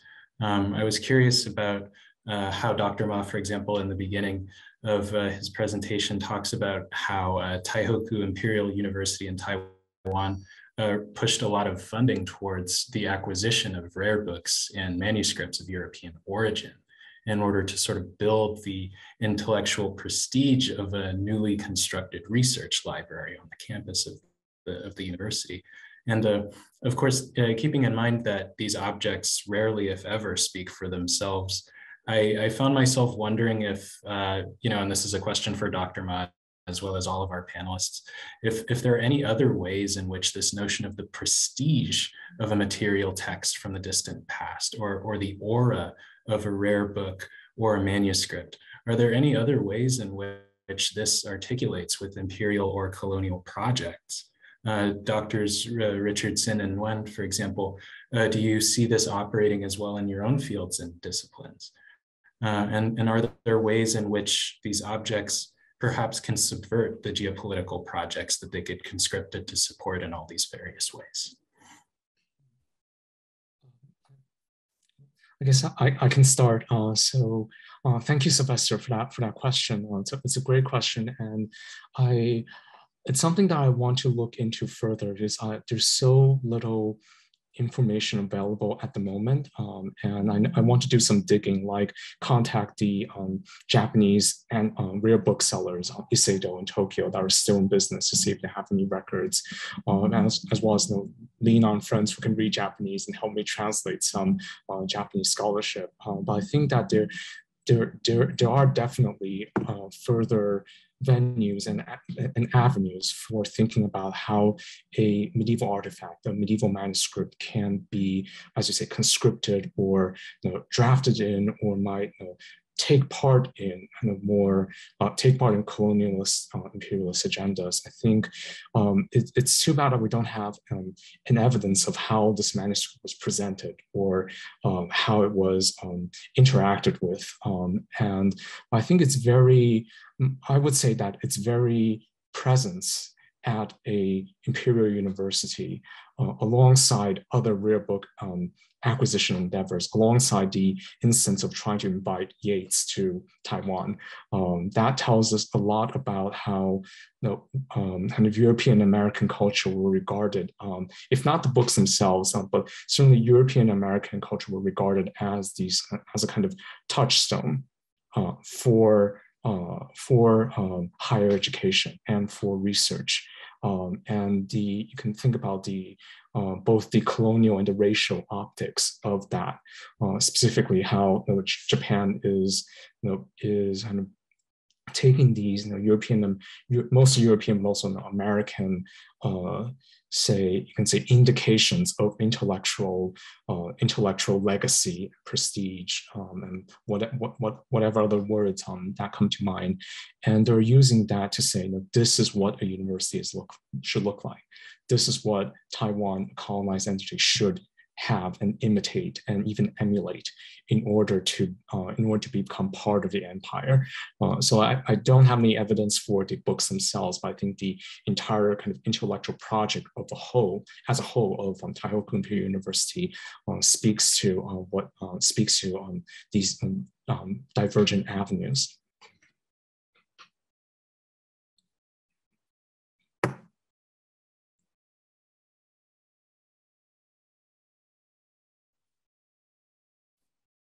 Can hop in. Um, just going off of what uh, Dr. Ma just talked about, and this is in relation to my other um, research on classical reception in Vietnam. Um, what I what I found really interesting too is you know this cultural capital that comes comes with the classical tradition, right? And with um, just a quick synopsis of what happens in colonial Vietnam is that the classical tradition gets uh, imported into Vietnam in multiple ways, right? One was to justify the colonization of Vietnam by the French. Um, and it also was imported another way in terms of um, the, mm, the European missionaries who came to Vietnam. And Latin became a common language between um, the different missionaries as well as the indigenous people. But what happened in the within the colonial hierarchy was this classical tradition carried this cultural capital, right, that I had just mentioned, that that it was used as this sort of gatekeeper to the colonial hierarchy through the education system. So the French kind of imported this um, education system that was based on the classical tradition. You had to pass Greek and Latin exams in order to gain entrance into these schools. And because these schools were made for the children of the European colonists. And if you can't get into those schools, right, then you couldn't climb the social hierarchy, couldn't get these coveted um, uh, positions that were not meant, you know, that weren't just reserved for um, indigenous people there. And but what I found, going back to your question, right, of of of of how, how is there some sort of pushback that can be um, that a pushback against this sort of you know just um, pristine cultural capital that is on a European scale can we find some evidence of that? Um, there is, and in this uh, one example that I'll give you too is from um, Pham Kim. He was the first Vietnamese classicist in the sense that he was the first Vietnamese person to get a degree in classics. Um, and he lived in the early 20th century. And at first, you know, he climbed through the ranks. He went through all these European schools, well versed in the classical tradition. But it came to a point where he didn't know if he could translate between these different cultures anymore. If he, he could translate between, um, you know, the French and then their their supposed um, uh, predecessors, the Romans, to then the Vietnamese, and couldn't translate between cultures and different peoples, and if if that was fair to the Vietnamese people, and you kind of how that kind of played out was in um, you know, some of his publications. So in his early publications of Vietnamese um, folklore, he would translate, he would use uh, references to, to different classical works, right? To try to make it more legible and palatable to um, his French audience. And he was writing in French. And so he'd make references to the Aeneid, for example. But then you could see subsequent um, publications of this of similar stories, he takes that out, right? And that kind of reminds me of um, what Audra Simpson, anthropologist, talks about in um, Mohawk Interruptus. She talks about, you know, the the, the um, ethnographic refusal, right? This this refusing to um, this refusal to be involved in these imperial pathways of knowledge production. I think that's a very powerful way, and we can see, you know, the silences uh, um, that are very purposeful silences. Thank you very much, Kelly. That was really, really great. I think that uh, both your and uh, Dr. Ma's comments uh, really sort of highlight the extent to which the, the reception of text or the reception of a cultural object can be the site of both, uh, you know, sort of a nefarious geopolitical project, but also perhaps resistances to that very same thing. Uh, so, so that I, I, I, find that to be a great message. Uh, sticking sort of uh, with the, the general theme of reception, just to uh, kind of, you know, uh, align a thread between these, these disparate questions that are coming in. Um, we, we have a, a, question for Kelly coming in from uh, Dan-el Padilla Peralta. Um, and this question is, uh, how do you see racializing ethnography intersecting with the geopolitics of controlling population movements? Uh, your talk uh, made uh, Dr. Peralta think of or, or regard the uh, ethnographic material in De Bello Gallico and the reception of that material in, early modern contexts uh, in an entirely new in an entirely new light. And I think I, am thinking about it in, in, kind of similar terms. So I was, I was wondering, uh, Dr. Nguyen, would you care to say a little bit to that point?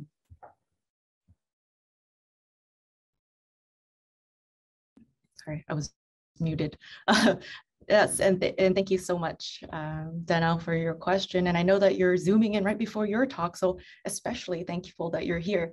Um, yes, I, so the, the, the racial not racializing ethnography intersecting with geopolitics i think that is at the heart of what i'm trying to get at is that um, population control population movements can it right and uh, cannot be separated from these racialized ethnographies and from this racialization of different people.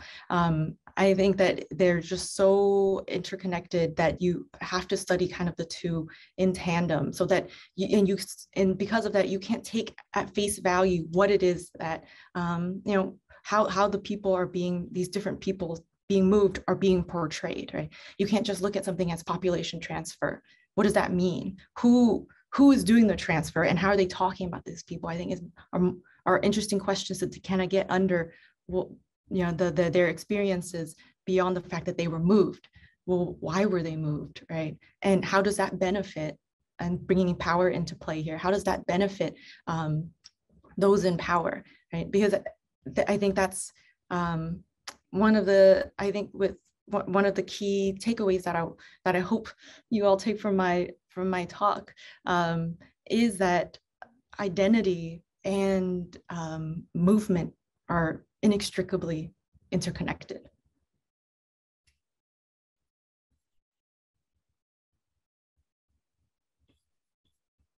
Uh, thank you, Dr. Nguyen.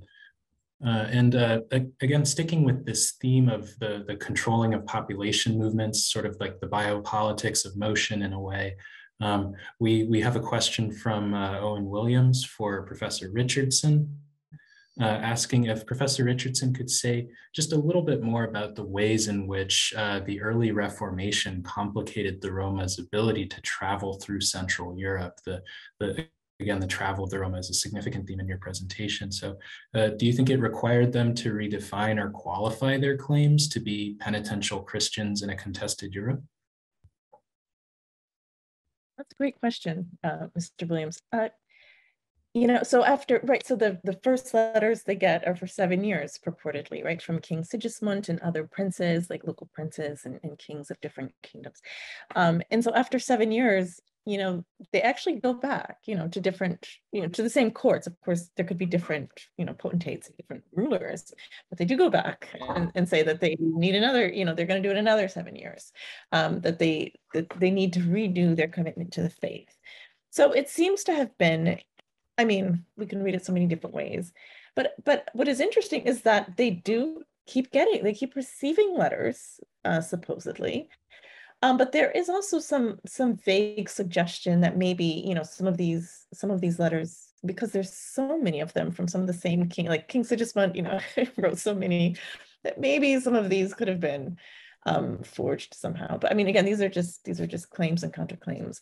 But um, but what is interesting is in spite of I mean after 1417 um, I mean right in 1417 right the the the public opinion towards these pilgrim shifts so, so dramatically even so, they continue to give them um, safe conduct letters, and, and you don't have you know phenomena of, of exile, etc.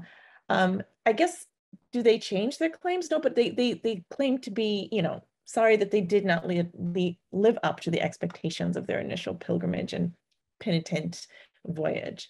So um, I don't know. You have a very you have a prejudiced audience, and and they keep they keep letting them come back. So that's basically what happens.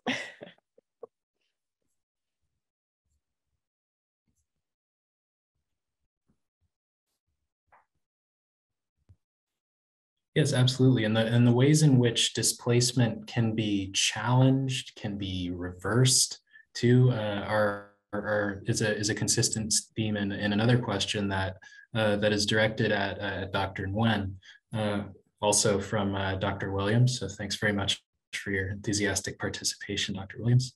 Um, uh, and asking if Dr. Nguyen can speak a little bit more about the the Santones, the Santoni, the, the sort of enigmatic ethnic cultural grouping uh, that's that's talked about in Caesar's Gallic Wars. Um, and uh, Dr. Williams is wondering if we have uh, independent accounts of these people and their movements through space, their historic lands, uh, or are they more just kind of a historical cipher that uh, not that are named by Caesar only to be displaced? Uh, would you care to speak to that?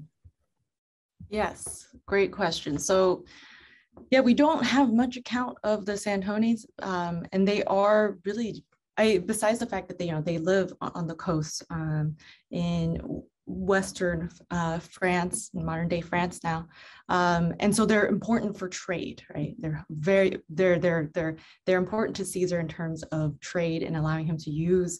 Um, uh, go through their lands and use the ports nearby. And so uh, they are strategically important to kind of keep um, in control. Um, and then in his later, um, later in the Gallic Wars, they do uh, end up revolting against him as well um, and joining um, uh, joining Vercingetorix and his and the Gallic up, Gallic uprising. And so yes, they are kind of brought up to be like, we need to defend them in much the same way that he brings up the Aedui, who have, you know, these fictive kinships with Romans, and he uses all sorts of um, rhetorical devices there to to make a case, right, for his um, for his campaign and for crossing the crossing his dominion, the, the boundaries of his dominion, um, and it, and it's a similar thing here.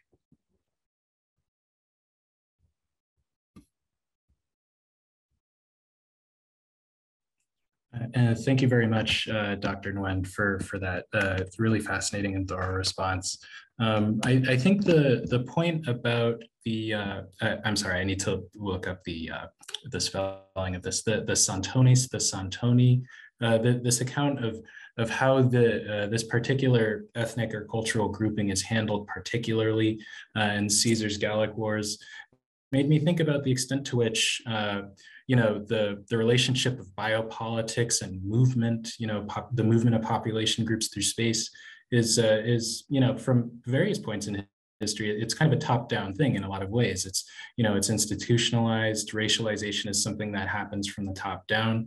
And i, I as as somebody with literary training uh, is particularly particularly in the Renaissance, I'm, I'm curious about the extent to which individuals themselves can, can have a stake in perhaps subverting or, or resisting uh, these broader sociocultural processes. And I think that uh, in a lot of ways, uh, my, my interest in that notion is is kind of inspired by uh, by Dr. Richardson's talk in a lot of ways. There's there's uh, there's this uh, um, excuse me this anecdote uh, uh, surrounding um, the, the, the the subjects of your talk, specifically Duke Michael of of Egypt. Um, who who seems to employ the artifice of self-presentation in a way as this distinct mode of being in and moving through the world. Like, like Duke Michael uh, sort of presents himself as being kind of a Christian penitent or a, or a wandering pilgrim. And, and you talk about the extent to which that gives him a kind of mobility in a sense, the, uh, the ability to kind of cross uh, geographic boundaries in, in, in, uh, in unique ways and in, in uh, sort of new ways. And, um, and uh, I'm curious about the ways in which Duke Michael is able to sort of use this kind of self-fashioned identity to sort of subvert the forms of biopolitical control that are operative in medieval Europe at this time. I thought that was there's there's a lot of uh, at least interesting potential there, at least for me. Um, and I'm curious uh, about whether there are resonances between this sort of distinct cultural phenomenon and the context of, for example, Dr. Ma, Dr. Ma or uh, Dr. Nguyen's research. You know, uh, in what other ways does the sort of self-fashioning of identity enable movement across these disparate cultural boundaries? And in, in what other ways can the artifice of self-presentation uh, perhaps even subvert racializing logic and the biopolitical control of cartographic space? Um, uh, so this is a question for all of our panelists, but I invite Dr. Richardson to speak first because I'm curious about what you think. Um, Oh, that's a great question. I have to say, I mean, as a historian, you know, I was I was really impressed with the ways in which um, not just Dubai, but certainly him, because he was the first, he's the earliest record we have, right? And then there comes Count Andrew, and there's Thomas, and there, you know, there are a lot of people who follow him. Um, I think there's a Vladislav, um, but that they're really keyed into social structure, like they're they understand power and they understand you know, cultural prestige so well. I don't know exactly their facility with the language, right? That doesn't come up until the 16th century. Do you have people saying, oh, they're, they they don't speak whatever language so well, they speak another language. But you know, that he makes himself legible through language, through status as a, a duke, right? Um, through his subjects, um, through his Christianity and his penitence. I mean, he really creates a, a, a space around his um, around his group. And what is also striking is, you know, when they go to these various towns in what is today Germany and France, you know, they're they live outside of the city. They, they they camp, I should say, outside of the city, outside of the walled city. And so they have this privacy. They have, you know, they can be themselves. So they're not always performing for this um, eventually disdainful public. So I, I did admire how he was able to fashion privacy, even, you know, in for people who don't have, you know, fixed domiciles right? They're they're camping in tents and, and things like this. Um, so I, I, I actually feel like that that's quite ingenious. I mean, it's it's just really, um, and, but other than that, yes, I you know I also see it. I want to hear you know how the other panelists are also working through these ideas in their own work. If it's mobility of, of objects and books, if it's mobility of of you know entire ethnic groups, right, um, displaced by war. You guys are thinking through that, but, but that's a great question, Sylvester. Thank you.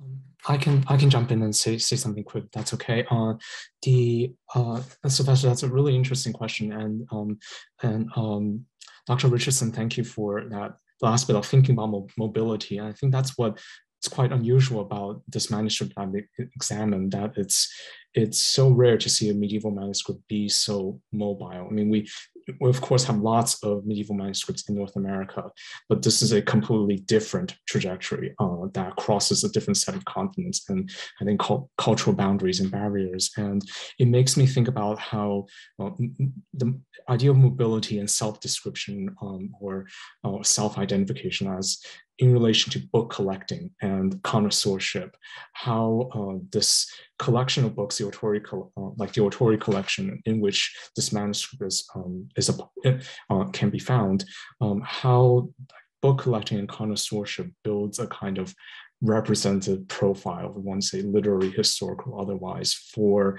um, for not only the uh, book owners themselves, but also a kind of a you can say kind of uh, traveling companions for its constituent um, items. Uh, and uh, so I, I, think that that aspect of self-description as part of book collection is a is, is kind of a pivotal process here because this is how it's it's through these diplomats on their kind of foreign uh, missions um, on their kind of this kind of um, imper imperialist and imperialism agenda of Japan, modernizing, westernizing uh, that's how the book collection emerges. It doesn't emerge from, uh, say, a, a cathedral, uh, cathedral library or a you know, nobleman's collection, as we see many medieval manuscripts kind of emerge from. This, the survival, I guess you can say, of this medieval manuscript comes down to, uh, comes down to a diplomatic and imperialistic uh, uh, movement and um, and mobility even uh, that brought this book into brought this book to East Asia and entirely renewed its context uh, for whether you want to say prestige purposes or uh, or otherwise.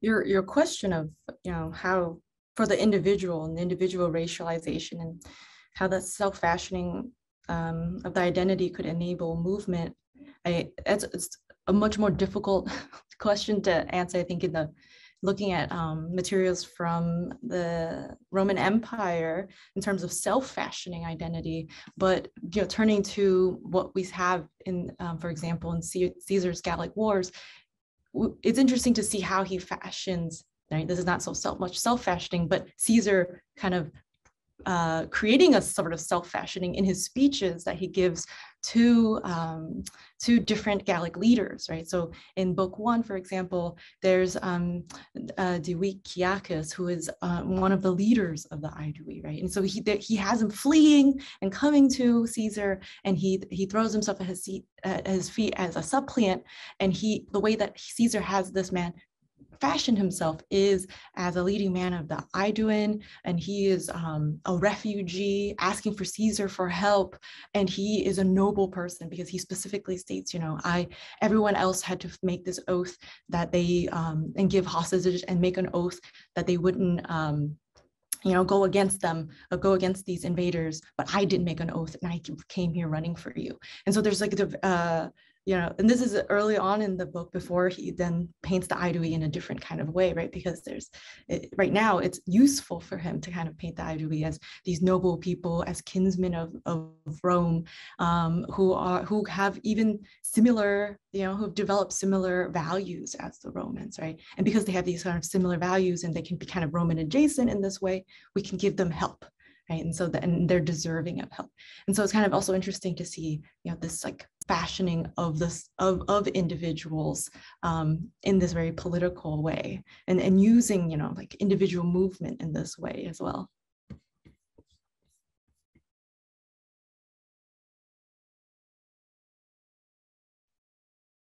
Absolutely. And I, I, think that the extent to which uh, racialization uh, sort of from the outside of the individual racialization sort of impacting the body, particularly in the context of your research, Dr. Nguyen, uh, is uh, it, it, it, it, seems to me as though, you know, sort of moving backward from the individual to the larger population group, uh, it seems as though that particular process is in some ways useful for the formation of a Roman identity by Caesar. And I think that uh, we, we, have a question from uh, Christine Johnson in the audience uh, for Dr. Nguyen, uh, to, uh, something to this effect as well. The association between racialization and violence in Caesar's text is fascinating uh, for Christine because the Romans are also engaged in this sort of expansionist violence. So um, just sort of moving to the end of our Q, uh, Q&A discussion here, I wonder if uh, Dr. Nguyen and uh, perhaps uh, the rest of our panelists too, if they, if they have thoughts on this topic, um, might speak a little bit about how racialization and violence articulate racialization helps to position uh, Roman military actions in ways that are useful for the definition of a broader cultural identity. Um, uh, so would you care to speak to that uh, just a little bit? Yes, um, thank you so much for that question. Uh, it's the association between the two in it also inextricable right? There's the, the it's um i think the racialization of these different peoples and this kind of goes back to danielle's question too um is kind of this justification right of for violence. And it's a it's a justification on both sides both for why these people are invoking violence and why they are violent people and why we need to use violence to kind of quell that down. Um, and you know it, it's it's it's uh, a rhetoric i think that is then replicated through time has started even before then this rhetoric of, of, sort of like a just war right? Like what is a just war? What is you know for the US, we can also look at in terms of more contemporary politics, right? Um, and then let's use the Vietnam War since that's how I began my talk of, um, you know, what, trying to make a justification for US involvement in Vietnam is it, it was a justification of you know bringing freedom and democracy and fighting against communism. But once that war was lost and there was a huge exodus of refugees, then the justification kind of shifted, right? And and there was um, and you look at a lot of the critical refugee scholars work on this. For example, um, Yen Le Espiritu or Mimitu Wing or um, so many, but they're, they're they talk about you know the the justification of the of the US involvement in Vietnam shifting once there was this huge movement of people outside of Vietnam and, and trying to, um, you know, trying to escape, um, escape persecution, the, the justification kind of shifted then to, well, we didn't bring freedom to um, to the country, but now we're bringing freedom to them as they come to us, right?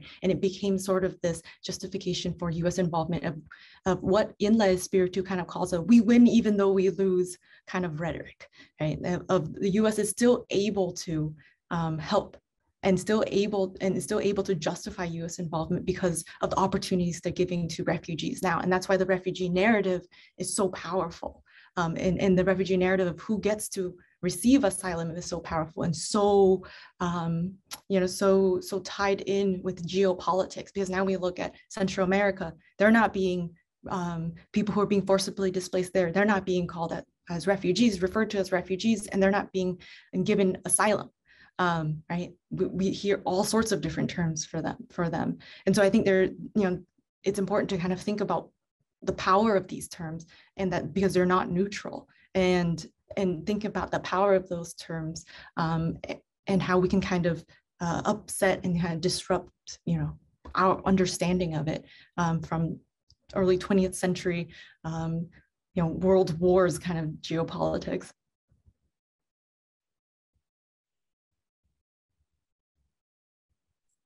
Absolutely, and thank you so much, Dr. Nguyen, for, for speaking to, to that question from the Q&A. Uh, at this point, uh, we have run out of time for our Q&A dialogue, but thank you so much uh, to all three of our panelists for those excellent uh, presentations, uh, as well as an excellent uh, Q&A dialogue. at this point, I would like to hand the mic over to our own Maite Green Mercado to start us off with some closing remarks. So thank you, Maite. Thank you. I'm actually going to turn uh, the microphone to Ana yes, Laguna. Somehow my video, I think, needs to be enabled. Uh, I cannot turn, okay, yes. Thank you. Thank you, Ana. Thank you very much. So the fourth edition of Race Before Race closes with a revitalized and expansive scholarly song one dedicated this time to the examination of two engulfing vectors of early modern geopolitical and imperial projects, and region. Over the past four days, we have learned about the multiple ways in which race making in the pre modern world was tied to processes of empire building and colonial projects. Yet we have also seen um, how race making could also exist outside of structures of states and empires.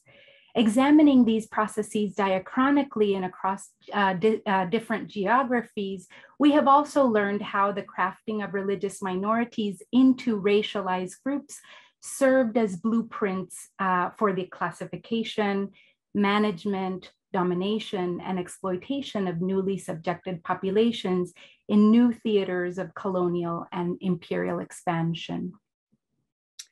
Through this expansive lens, we have explored the Mongophobia of imperial China, the added layers of against Islam in Java, and the racialization and genocide on ancient Rome Western frontiers.